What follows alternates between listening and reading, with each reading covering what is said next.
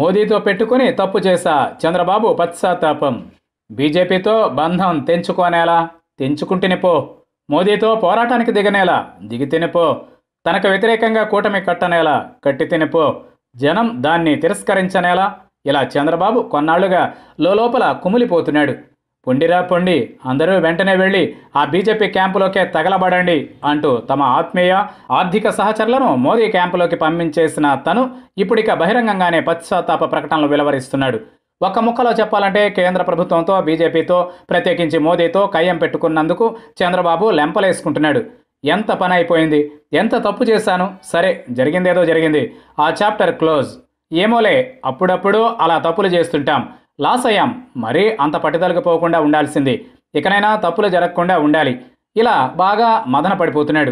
చంద్రబాబుకు తత్వం బోధపడింది. తనకన్నా ముందే మమత నోరు విప్పితే మోదీపై నిప్పులు కురిపించే ఆమె ఢిల్లీ వెళ్ళి మోదీని ప్రసన్నం చేసుకునే పనిలో పడింది.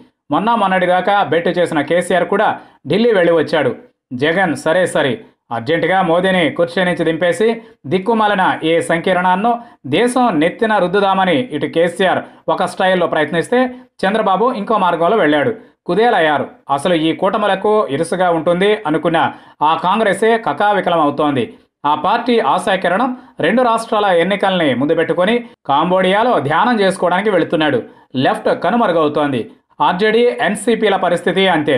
ఎన్నికలకు ముందు ఏ స్టాండ్ తీసుకోకుండా ఏ కూటమిలో కట్టకుండా ఏ గ్యాంగ్లోనూ చేరకుండా తటస్థంగా ఉన్న నవీన్ పట్నాయక్ ఒక్కడే కాస్త కుదురుగా ఉన్నట్టున్నాడు ఇప్పుడు. కాంగ్రెస్ ప్రభుత్వాలున్న మధ్యప్రదేశ్ రాజస్థాన్ రాష్ట్రాల్లో పార్టీ అంతర్గత విభేదాలు చెలరేగుతున్నాయి.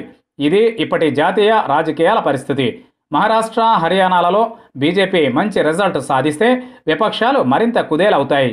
విపక్ష నేతలుగా గిరగిరా చక్రాలు తిప్పాలనుకున్న నేతలకు కాలు చెయ్యి ఆడడం లేదు. గత ఎన్నికలకు ముందు మోదీని అత్యంత బలంగా వ్యతిరేకించింది చంద్రబాబే. అందరినీ కూడగట్టాడు. ఆర్థిక సాయం చేశాడు. పలు రాష్ట్రాలకు వెళ్ళి ప్రచారం చేశాడు. దాదాపు మోదీతో వ్యక్తిగత వైరం ఏదో ఉన్నట్టుగా వ్యవహరించాడు. ఇప్పుడు తనే అంటున్నాడు. అబ్బే మోదీతో నాకు వ్యక్తిగత వైరం ఏమీ లేదు. ఏం చేసినా రాష్ట్రం కోసమే చేశాను పోరాడాను అన్నాడు. మళ్ళీ తనే ఆ పోరాటం పెట్టుకోకుండా ఉండాల్సింది తప్పు జరిగింది అంటాడు. కంట్రడిక్షన్ ఒకవైపు బల సంపన్నుడిగా జగన్ మరోవైపు ఎవరూ కదల్చలేనట్లుగా మోదీ. ఇటు కేసీఆర్ సరే సరే. పాత కథలన్నీ తవ్వి ఎవరు ఏ కేసును మెడలో వేస్తారోననే సందేహాలు. చుట్టూ చీకటి. అందుకే సహజంగానే మనసులో నుంచి తన్నుకు వస్తున్నాయి ఈ పశ్చాత్తాప ప్రకటనలు. అవి కార్యకర్తల ఎదుట జరిగే ఆత్మ సమీక్షల్లోనే.